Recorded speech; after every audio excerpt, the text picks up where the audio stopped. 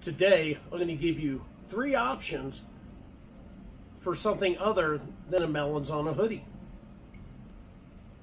Hey, I'll be the first to admit I love my Melanzana microgrids. I've got two of those. I've got a Wind Pro hoodie that I wore all last year as my hiking layer. Uh, you've, if you've seen any of my winter videos, that's probably what I was wearing at the time. And I also love the, the microgrid toque that I got. That is by far the warmest to weight ratio hat that I've ever had. Uh, it is very impressive and it's very good at wicking as well. So within the last couple of months, Melanzana reopened their store in Leadville and they got flooded. Regardless of their stock, they got bought out pretty quickly. So the only thing that they had available was basically what they were selling right then and there. Uh, and unfortunately, some people went out there and got into fist fights. Fist fights over a hoodie. Well, this prompted Melanzana to change their uh, policy on how they were doing business. So now, if you want to shop there, you have to go to their store, get a reservation, and then come back on the day and time of your reservation to do your shopping. Well, that's great if you live near Leadville or at least in Colorado. It kind of sucks if you're through hiking the CDT or the CT. You're not going to be able to stop in and take a zero in Leadville and pick one up. So I just want to say thank you to those morons out there that started fights over a hoodie. You ruined it for everybody else. So today I'm going to give you three options to, to the Melanzana hoodie.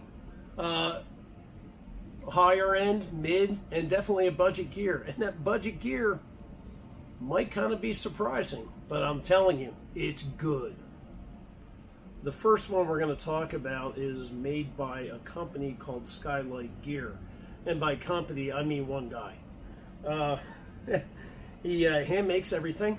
Uh, the only way you can buy them is to follow him on Instagram because that's where he'll announce where he's going to make some new products and you can sign up for it. But he makes hoodies, he uh, makes rain jackets, uh, all sorts of different things, and uh, just whatever material he might have in stock.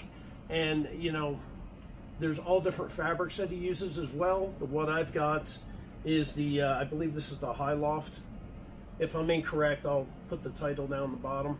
Um, but this is it right here. It's got an elastic uh, around the head opening. Does not have a kangaroo pouch or any sort of pocket.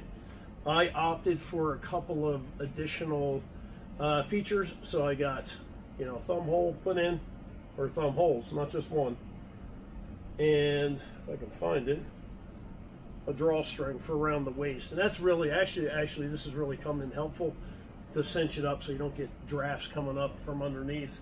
Uh, but this weighs in at under 10 ounces. And actually, this is the heaviest one he's ever made. So there you go. Um, about 127 bucks uh, all total.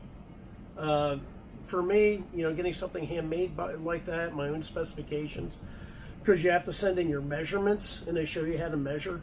Uh, and he double checks with you on everything before he does anything. Uh, you know, 127 bucks, I think it was well worth it. You know, he's just recently graduated college, uh, and this is his thing. It, it, was a hobby. It might be a full time business in the future. Don't know, but uh, follow him on Instagram, Skylight Gear. Uh, the stuff that he's making is, is pretty cool, very unique, and once again, totally customized to you. The next option up for bets is uh, coming from Duluth Trading Company. And this is their Black Burn hoodie with neck gaiter. Uh, when I bought this, it was uh, $75, I think. I bought it in the store. Um, they're on sale right now on clearance for like 35 bucks. Uh, so I might actually check into getting another one of these. But the cool thing about this, uh, well, actually several cool things. You've got your big kangaroo pouch here in the front. You've got an additional one up top here, zippered, uh, that is, is made of a stretch material, and you can actually fit, uh, like my Samsung phone, I can fit in there. Uh, but the really, really cool thing on this is not only you've got a hoodie built in with ways to cinch that up, you have a built-in gaiter to cover your face. Uh, different type of material. Hopefully you can see that. Uh, so the uh, the fleece runs horizontal on it. It's not like a microgrid or anything. Uh, I did take this out to the sand dunes this year. Fantastic. When it gets windy, like all the other ones, you got to put something over top.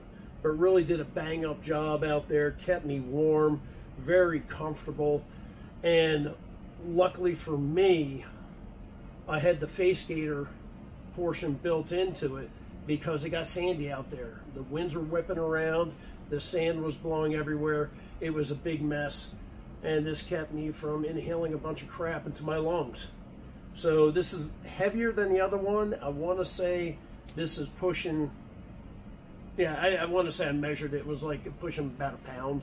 So this isn't your ultralight option, uh, but actually for the price, for 35 bucks, you know, on sale right now, you can't beat that. So Blackburn hoodie with neck or with gaiter, check it out. Uh, well, it was well worth it at 75. It's really worth it at 35. So the last option I want to talk to you about, you might not have considered this, but I'm going to throw it out there for you. And this is courtesy of Uncle Sam. This is my Generation 3 cold weather top. Uh, doesn't have a hoodie, as you can tell, but it does have thumb holes, and it does have a drop tail uh, on the back, so it's a little bit longer. Hopefully you can see this. It's a microgrid fleece. Um, show that. It's made by Polartec. Polar Tech is the same company that makes this fabric that makes the Skylight gear fabric. So it's coming from a good source. It's a good quality uh, material being used. Uh, if you don't want a hoodie, this one's got, you know, a long zipper in the front. Fantastic. So this might be a better option than any of these for when you're out hiking. So, you know, if you start to heat up while you got your pack on, you can open this up and get some more airflow in there. The, uh, the other great thing about this that the other ones don't have, you can get the matching bottoms. That's right. So you get the long john bottoms of these also. There is your sleep set, okay? Very lightweight. Uh, the top was like 12 ounces when I weighed it, and that's for an extra large. So very lightweight option here to stay warm, especially in the winter. And trust me, I've worn this in the winter. I've worn this uh, three times in Iraq during the winter time, um, and, and, numerous times, you know, out in the field when you know when we're out doing exercises, whatever else. Uh, this works. It is well worth it. And the great thing is, you can find this stuff on like Amazon for like 20 bucks for like the top. That's a fraction of any of this other stuff. So there you go. There's option number three. So I hope you got something out of this. Uh, if at the very least you're not going to go off to Leadville and get to a fist fight, you're going to look at one of these other options. Definitely follow Skylight Gear on Instagram. I'll put a link down below for that. The same thing for the uh, Duluth Trading Company hoodie that's on sale. And well, this you can Google it yourself. Uh, generation 3 is what you're looking for. All right, folks, that's all I got for you. Uh, please like, subscribe, click the bell, do all that happy stuff. Leave me some comments. You know, what do you use for your uh, hoodie, for your, you know, mid-weight layer when you're out there hiking and backpacking? Uh, love to find out about all the different options. Definitely always looking for the next best thing. All right, folks. Talk to you soon.